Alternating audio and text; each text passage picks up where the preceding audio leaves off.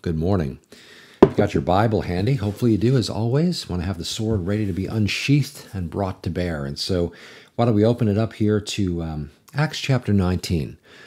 Last time we were in the book of Acts, a few episodes back, we, uh, we, we came in contact with Apollos, somebody who was familiar with the baptism of John and the ministry of John the Baptist, but had very limited knowledge in regard to Christ. Uh, he preached much like John the Baptist did, proving uh, about the some issues about the Christ, about the Messiah, but didn't really have an accurate knowledge of it. Uh, he was not as familiar, and so Priscilla and Aquila brought him up to speed, and he began, therefore, then from that point on, to preach even more boldly and passionately, having a fuller knowledge uh, of the fact that Messiah had come and Jesus was the Messiah and what he'd accomplished, and all of that.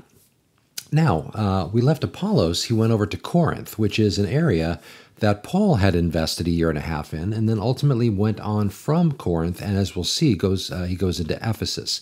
But we mentioned last time that um, when Paul talks about how some plant, others water, and those kinds of things, this is exactly what happened with Paul planting seeds, Apollos going there and watering and helping to uh, essentially picking up the ministry that Paul had left there in Corinth.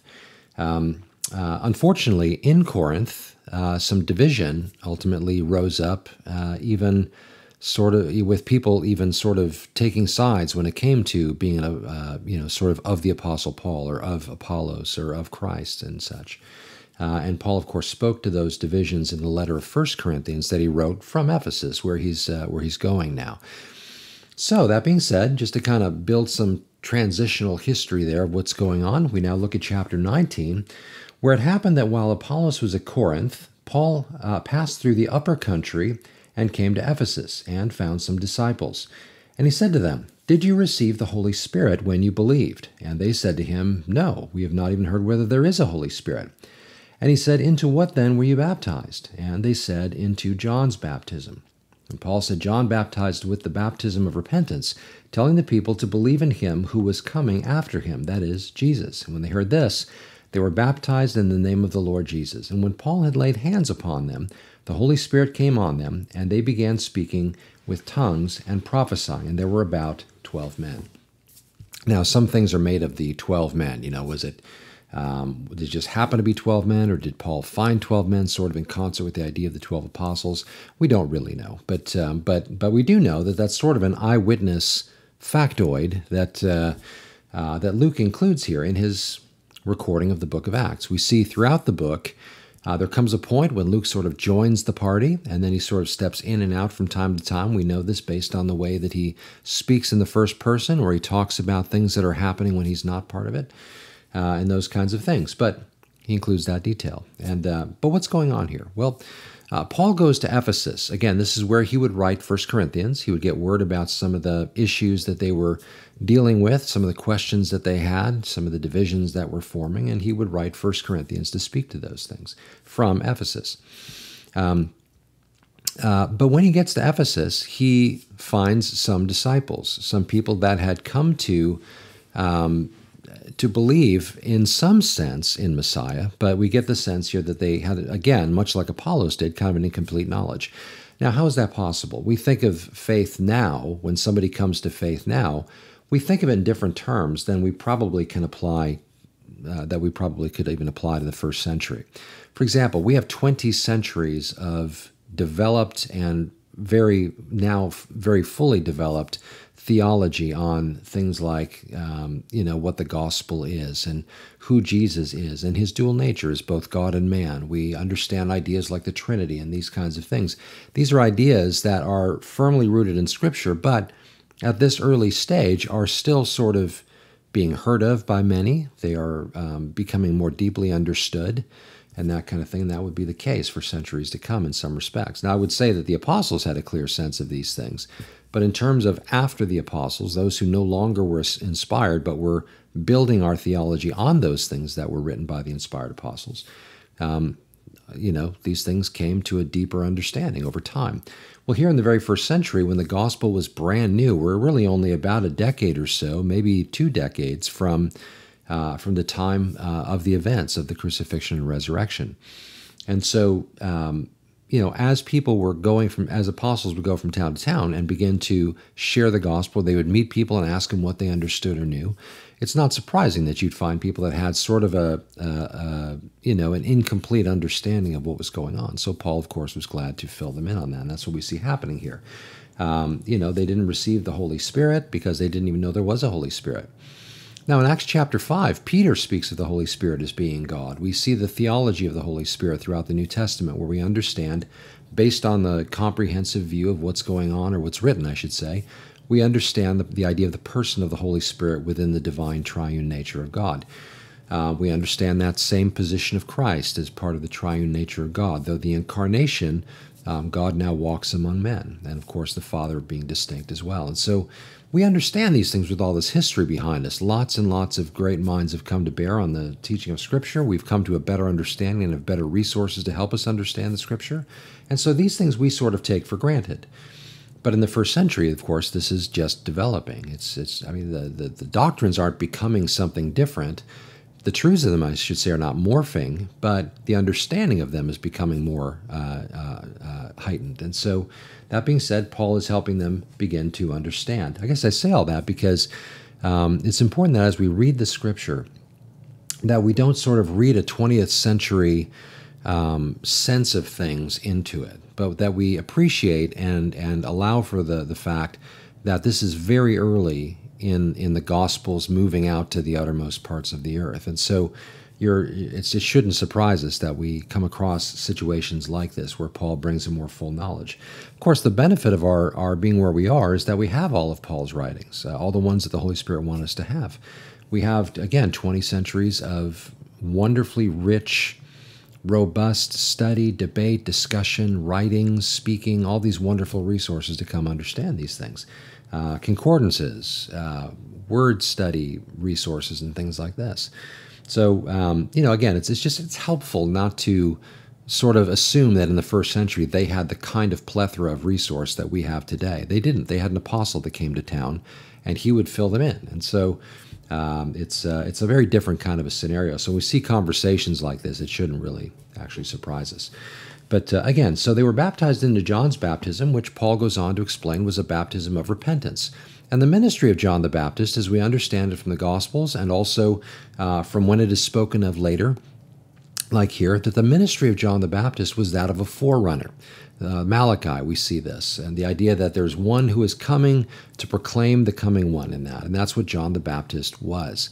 And so when he was out doing his ministry, his message primarily was make make way for the coming of the Lord, make his path straight, clear off those things that would prohibit the Messiah from coming and having free and open access, not just to town, but to the very hearts, uh, to our hearts. And so, uh, because that was his ministry, it was by definition a ministry that was leading to something else. And that's what Paul begins to help them understand.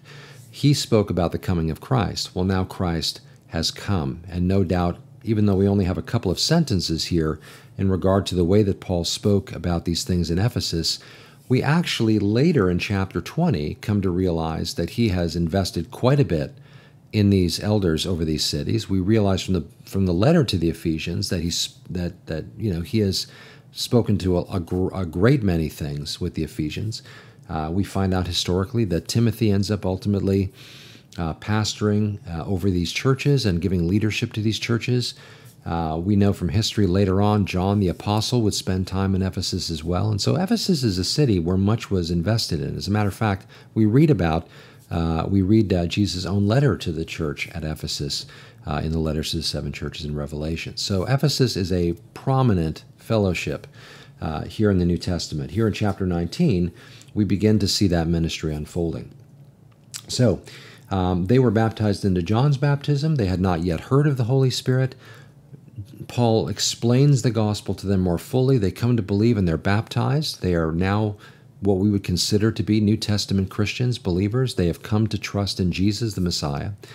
Uh, they've been baptized, and Paul then lays hands on them, and they receive the Holy Spirit. So not only has Paul, no doubt, explained the person of the Holy Spirit to them, but he has now actually prayed that they might receive the gift of the Holy Spirit. In other words, that the Holy Spirit might not just simply dwell in them, uh, Ephesians 1.13, the idea of him being the seal of our guarantee of our uh, of the inheritance that we are for Christ, but also that they might receive giftings. Uh, in his letter to the Corinthians in chapters 12, uh, 12, 13, and 14, 13 is kind of the love chapter, but it's well placed between chapters 12 and 14 in, in, in uh, Corinthians, 1 Corinthians, um, as the motivator for the use of the gifts. But in chapter 14, he talks, or chapter 12, he talks about the Holy Spirit distributing gifts as he wills. And so here, Paul is praying that they might receive the Holy Spirit as well. And as a matter of fact, they do receive the Holy Spirit, and an evidence of that happening is that they begin to speak in tongues. Now, you can read uh, 1 Corinthians 12, 13, 14. 12 and 14 in particular talks about the gifts, particularly. But you can read about the gifts there where um, it explains how the gift of tongues is to be used, what it is, what it isn't. You know, we, we come to understand both what it is and what it isn't from Paul's discussion on these things. But they begin to speak in tongues, which means they begin to speak in languages that they had no prior knowledge of. And we understand from the book of Acts, chapter 2, Paul's discussion in 1 Corinthians, that the gift of tongues is not a language that you would have conversations with other people in, in languages that you did not know. After all, why would that be? What sense would that make? But if you couldn't understand what you're saying to each other. But it is actually a language that is used and given as a gift to praise God and to proclaim His great works as, as sort of a, a, a worshipful kind of a thing. Uh, we see that in Acts chapter 2. As a matter of fact, let's turn to Acts chapter 2 and uh, see the New Testament uh, introduction of this. Um, in uh, chapter 2, when the apostles are, have met in the upper room, they're waiting as Jesus told them to, to be endued with power from on high. And in chapter 2, verse 1, when the day of Pentecost had come, they were all together in one place. About 120 of them, actually, as we read the passages, we find out. Uh, there appeared to them uh, as tongues of fire uh, distributing themselves, and they rested on each, and one, each one of them. And they were all filled with the Holy Spirit and began to speak with other tongues as the Spirit was giving them utterance. Remember, the Holy Spirit was giving them the gift and giving them utterance. Now there were Jews living in Jerusalem, devout men from every nation under heaven, and when this sound occurred, the crowd came together and were bewildered, because each one of them was hearing them speak in his own language, and they were amazed and astonished, and saying, Were these not Galileans? And that, and how is it that we each hear them in our own language to which we're born? And then they go on to name all these different nations that are represented there. So we see that they are speaking the wonderful things of God, they're worshiping, they're praising God, and they're doing it in languages that they did not have prior knowledge of. And the people who are there are hearing them, and these people from these different countries recognize that these are Galileans. Whether by appearance or maybe in the way they were speaking in tongues, you could still catch a hint of their dialects or something like that. But they could tell they were Galileans, and this was a strange thing to them. How is it the Galileans are speaking in all these different languages? This was a gift of the Holy Spirit. And that's what's happening back here in Acts chapter 19. They are speaking, presumably, there's no reason to think otherwise, they're speaking much like the apostles did in that first uh, encounter with the Holy Spirit in this way. And so, um, now this was an evidence of the fact that the Holy Spirit had come upon them. Now, I should point out that it's not the evidence of the baptism of the Holy Spirit. Um, you know, a lot of weight is given to the idea that when someone is baptized in the Holy Spirit, they speak in tongues. That is an automatic and, in, in the minds of some, um, a necessary um, expression or evidence that the Holy Spirit has indeed come upon somebody. Um, that's clearly not the case. Uh, we've, we've mentioned it a couple of times. Why don't we turn to 1 Corinthians? And uh, we'll look here at um, chapter 14. And we'll see here what Paul has to say in regard to this gift in 1 Corinthians chapter 14, um, uh, let me see here. Let me go toward the end. Uh, here we go. Didn't actually expect to go here this morning, but it was on my mind, so I figure we probably should. So, oh, here we go. At the end of chapter 12, forgive me. Um, so he goes on and speaks here about um, sort of the gifts and the offices and things like that that are given by the Lord. Verse 29, uh, he goes on, or verse 28, let's start there. Uh, well, let's go to verse 27. Now you are Christ's body and individually members of it. And God has appointed in the church first apostles, second prophets, third teachers, Uh, then miracles and gifts of healings, helps, administrations, various kinds of tongues. Um, are uh, all are not apostles, are they? All are not prophets, are they? All are not teachers, are they? All are not workers of miracles, are they? All do not have gifts of healings, do they? All do not have uh, all do not speak with tongues, do they? All do not interpret, do they? But earnestly desire the greater gifts, and behold, I show you a more excellent way. And then he begins to speak about love as the central feature of the Christian's life that should undergird the use of any of the gifts. But he asks a series of rhetorical questions at the end of that discussion there. He talks about the various gifts and distributions that the Holy Spirit gives. And then he goes on and says, Well, not everybody has all these things, right? I mean, not everybody's an apostle, not everyone's a prophet, not everyone speaks in tongues or interprets, do they? The implication being that no, the answer is no. Of course, not everybody speaks in tongues. Well, then how can tongues be the sign of being filled with the Holy Spirit or being baptized by the Holy Spirit, whatever various terminology you might want to, to use for that. The idea that the Holy Spirit, as a secondary thing, He indwells us as believers. That is true of every believer. But the idea of the Holy Spirit coming upon a believer for acts of service or to be used by Him in some way or for whatever purpose He might uh, bestow a gift or something. But the idea is that tongues is not a gift that every believer has. I, for example, don't speak in tongues. I believe the gift is around today, and I, I believe there have been legitimate expressions of it in our day, but I don't have that gift. One of the ways you know if there's a legitimate expression is if there's an interpretation that comes with it. Uh, somebody speaks in a tongue, someone else interprets. There's some validating of, of that use of the gift in that context. Um, but it's it's not supposed to be the premier gift. It's not supposed to be seen, I should say, as the premier gift.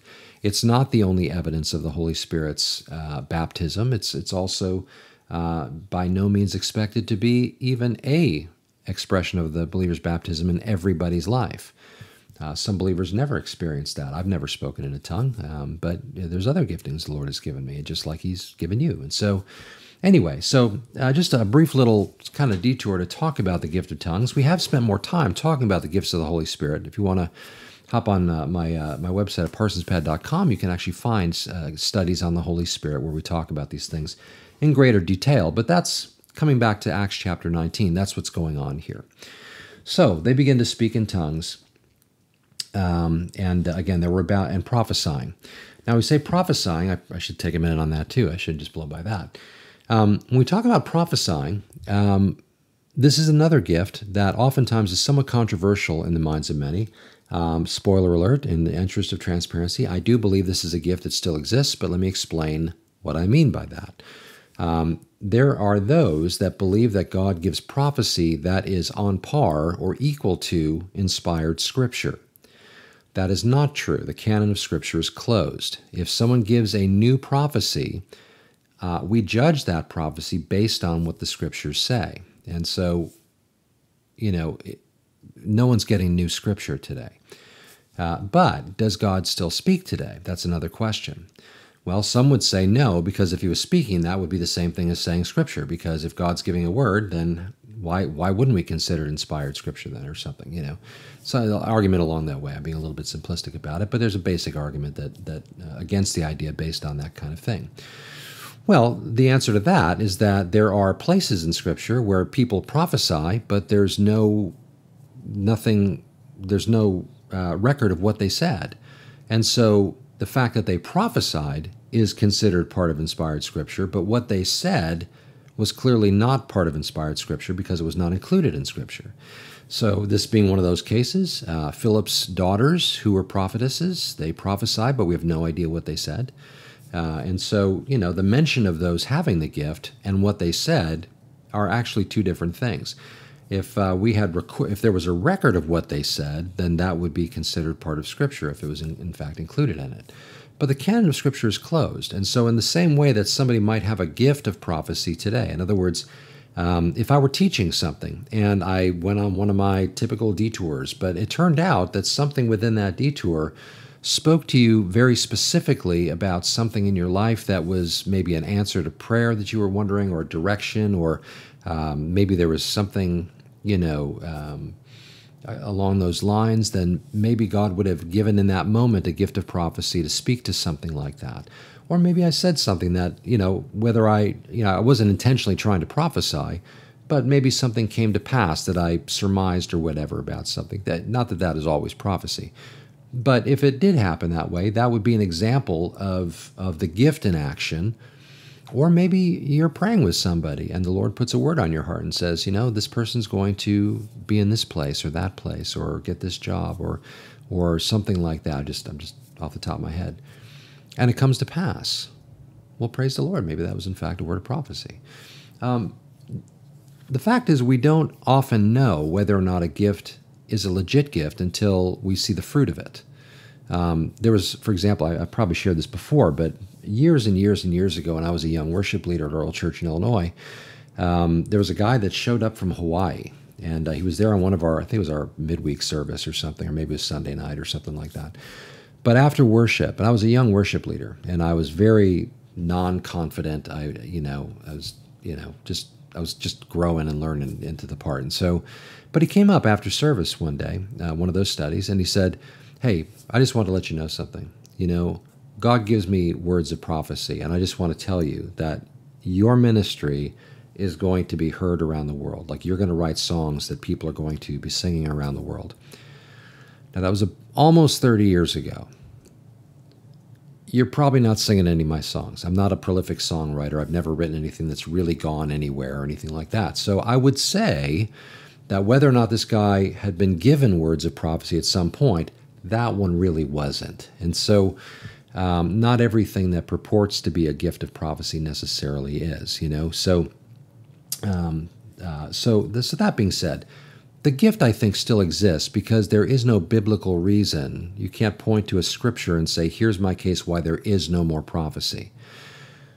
But we also should not just automatically assume that anyone who says they've got a gift of prophecy necessarily does. We should always discriminate, even as Paul says, you know, let two or three speak, let the others judge. So that's how we utilize that gift. But here in chapter 19, uh, in Ephesus, as Paul laid hands on these new believers, uh, they began to speak in tongues and to prophesy. And the Holy Spirit evidently uh, uh, had a legit, they had a legitimate experience with the Holy Spirit there. Again, there were about 12 men in all. Uh, verse 8 And he entered the synagogue and continued speaking out boldly for three months, reasoning and persuading them about the kingdom of God. But when some were becoming hardened and disobedient, speaking evil of the way, which is the name that the church was known by in some quarters, before the people, he uh, uh, withdrew from them and took away the disciples, reasoning daily in the school of Tyrannus. So, as he's in Ephesus, he faces opposition. He speaks about this in 1 Corinthians 15, where he talks about if there's no resurrection and we have no real hope or anything, then why would I endure these these these animals trying to, you know, these ravenous wolves trying to come in, or these dogs, or the term that he uses? But he speaks of this idea of them coming after him for preaching these things. And he uses it as sort of an evidence like, well, why would I do that if there was no resurrection in that? Well, this is likely what he's referring to as the opposition he was facing here that we read about in verse 9. Um, so, as he's sharing the truth about the kingdom, he is, people are coming to Christ, he's sharing the gospel, he's sharing news about the kingdom. Um, and, and by the way, the kingdom is a very important thing for us to understand. The kingdom um, primarily speaks of the idea of the millennial kingdom, the, the reign of Christ, his return to establish his kingdom in that. That's, that's what the term speaks of. Now, whether Paul went beyond that to speak about eternity in that, we don't know. But here, at, at this, uh, you know, in the church's early history, one of the great things that was looked forward to was the idea of Christ's coming to establish his kingdom. Uh, and so, in a, in a society that was overrun by Roman rule, that would be a hopeful message, a wonderfully hopeful message. And so, Paul includes that in his preaching and teaching. However, he did face opposition, uh, whether it be by the Judaizers or the townfolk that had vested interest in other gods and goddesses. Uh, you know that uh, in, in, in Ephesus there was the temple of, of Diana or Artemis, uh, who was worshipped uh, as, as, a, as, a, as a big hitting deity and all this. And so he faced a lot of opposition for sharing the teachings that he was sharing, but he did it nonetheless, even in spite of that persecution. But there came a point when it got to be so heavy that he didn't stop, but he just moved to a different location, and it was this place called the School of Tyrannus. Now, there's not a lot known about the School of Tyrannus except that it was apparently named after somebody who uh, existed a, a, couple hundred years prior to this time. And so some have surmised this is a school of philosophy, or maybe there's uh, it just was a school where different kinds of ideas were taught. Um, it, it, likely was not a school like multiple classrooms so much as it was a place of oratory, and different orator, orators would come and speak. Forgive me for the analogy, but something like a TED Talk, you know, something where you'd have a, a platform where people would come and speak on different topics. And there would be interlocutors as people would go back and forth with ideas and discuss and debate things. Well, Paul went to go teach there on these things because in this forum, that was kind of accepted because it's a forum for learning. Uh, and so that's generally the thinking about the school of Tyrannus. And so Paul goes there and he begins to teach. Now, this went on for two years that he was teaching there in verse 10, so that all who lived in Asia heard the word of the Lord, both Jews and Greeks. Again, likely, at least in part, because the school of Tyrannus may have had some uh, notoriety as a place to come and hear these ideas, much like Mars Hill in Athens. You know, people there would come to hear different philosophies and to learn any new ideas that were coming through. School of Tyrannus, somewhat similarly. And so, um, anyway, so Paul continues to take these opportunities to bring the truth of God forward. Now, as we continue through uh, the next passages next time, we're going to see him continuing his ministry in Ephesus. And when we get to chapter 20, we're going to see that before he departs from Ephesus, he pulls the leaders of the churches in the region there in Ephesus together, and he warns them about wolves coming in to not sparing the flock, but to basically to uh, to to, uh, to devour the sheep, and that those who are being poured into as young believers, not unlike these that Paul met when he first came to town. Um, this is the heart of a pastor, um, burdened deeply for the health and well-being of the sheep. And this, this of course, is the underlying reason why Paul would write so many letters and, and would write to these churches that he spent time with, or even churches that he hadn't been with, but wanted to see, or at least wanted to pour into, that they might be strong in their faith. So, um, so one of the beautiful benefits as we wrap up today, one of the great benefits of going through the book of Acts, is that it really puts flesh and blood to so much of the theology we read about in the New Testament. Uh, if we just had the epistles, we would have these, of course, these wonderfully rich, spirit inspired uh, teachings on the Christian faith and on, on orthodoxy and orthopraxy and all these different ideas. But the book of Acts actually puts us in the places where these believers that were written to in the epistles uh, came to faith and what their faith was like and what they were like in the cities they were in and the kinds of philosophies that may have existed. Again, it just sort of puts flesh and blood to the theology that we read. And I think that's really, really important because it keeps it from sort of it keeps our theology from sort of being in a vacuum where it's somehow separated from uh, from the people that it was uh, expressed to, the people as they learned it, and those kinds of things.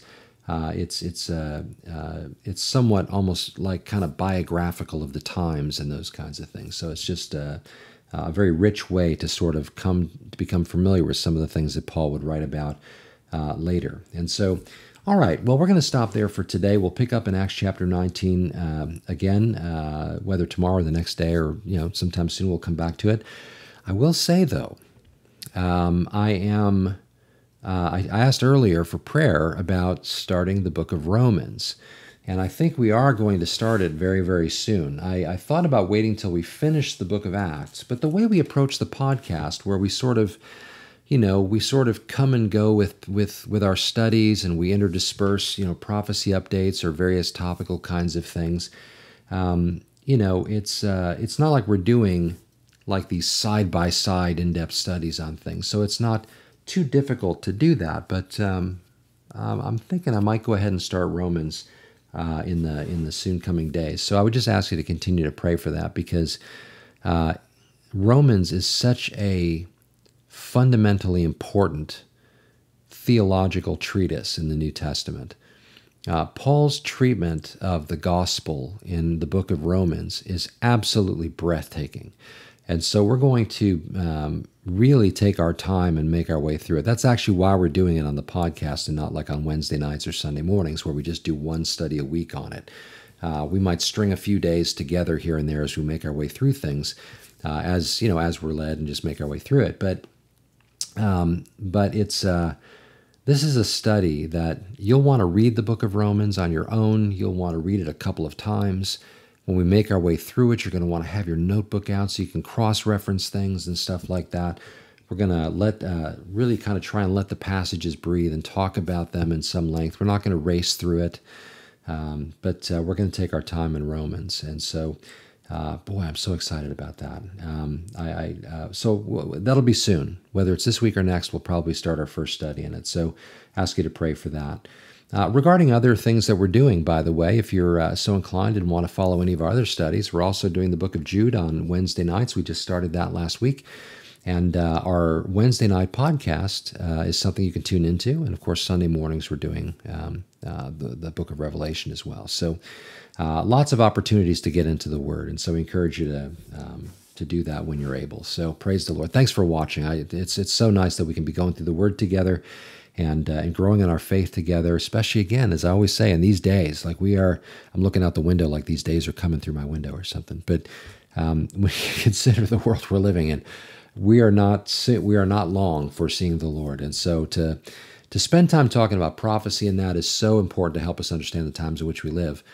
But to spend time in the Word and going through like Acts or the epistles or the Gospels or really any part of the Word of God, Old or New Testament, where we come to know God better and better and better, uh, that cannot be uh, that cannot be overstated. The importance of that, because one day when we see Him face to face, the less of a stranger he is when we meet him, the better. And so that's why we go through the word, that our hearts might know him well. So, that being said, thanks for joining. Father, we thank you for time in your word. We thank you that, uh, Father, you've given your word to, to regular folks like us to read it, to study it, to come to understand it, to, um, to live it out.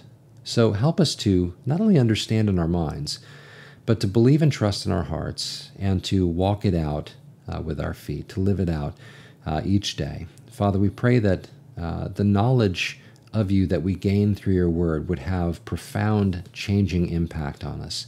Help us to become truly, by the power of the Holy Spirit as He works in our hearts, help us to become more like Jesus for His glory's sake, for His name's sake, so that when people look at us, they see our lives, they would recognize that we're disciples uh, Father, they would see that we're followers of Jesus in the way that we talk, the way we see the world, the way we interact, the way we love one another, uh, the way we uh, seek the lost, the way that uh, really you live your life out through us.